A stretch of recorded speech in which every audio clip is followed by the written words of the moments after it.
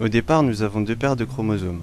Une grande paire avec un chromosome bleu portant des gènes petit a et petit b, et un chromosome rouge portant des gènes grand A et grand B. Il y a également une paire de petits chromosomes, une bleue et une rouge. Lors de cette première phase, En effet, lorsque les molécules d'ADN se condensent lors de la prophase, un fragment des chromosomes d'une paire peut s'échanger avec un chromosome de l'autre paire.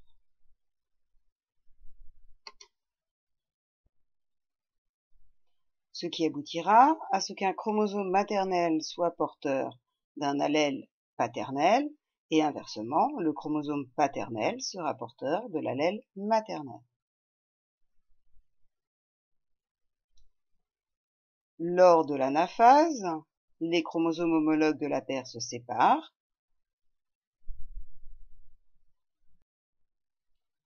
Lors de la télophase, les deux cellules filles sont individualisées.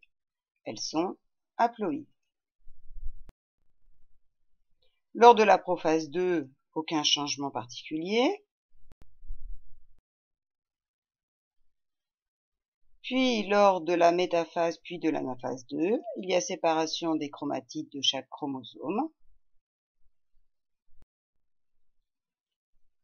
Lors de la télophase 2, il y a séparation des quatre gamètes haploïdes, deux gamètes de type recombiné dont la fréquence est plus faible que les deux gamètes de type parental,